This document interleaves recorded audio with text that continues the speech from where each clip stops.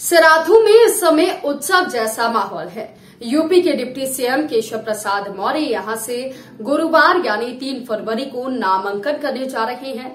जब सिराथू से केशव प्रसाद मौर्य के चुनाव लड़ने की घोषणा हुई है, तब से लोगों में गजब का उत्साह दिख रहा है।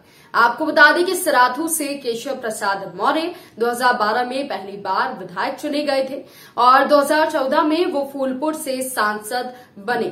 2017 में बीजेपी की सरकार बनी तो उन्हें प्रदेश सरकार में उप मुख्यमंत्री बनाया गया।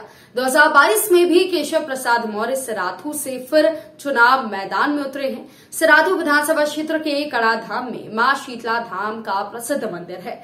यहाँ ख्वाजा खड़ग शाह बाबा की मजार भी मौजूद है कड़ा में ही संत मलूक दास का आश्रम है। गंगा नदी के किनारे जयचंद का किला स्थित है। सिराथू विधानसभा सीट से उन्नीस सौ बासठ में कांग्रेस के हेमवती नंदन बहुगुणा ने जीत दर्ज की थी। उन्नीस सौ नवासी और इक्यानवे में ये सीट सुरक्षित श्रेणी में कर दिया गया।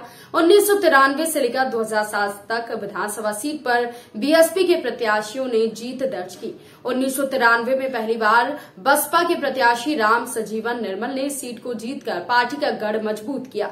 इसके बाद उन्नीस सौ छियानवे में सतीश चंद्र सोनकर ने पार्टी से जीत दर्ज की।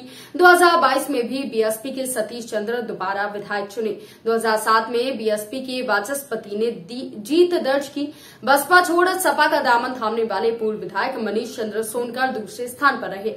2012 में इस सीट पर बीजेपी का खाता खुला और पार्टी के कद्दावर नेता केशव प्रसाद मौर्य ने जीत हासिल की। उन्होंने बसपा के प्रत्याशी आनंद मोहन को नौ मतों के अंतर से हरा दिया। इस चुनाव में केशव प्रसाद मौर्य को सत्तावन मत मिले थे।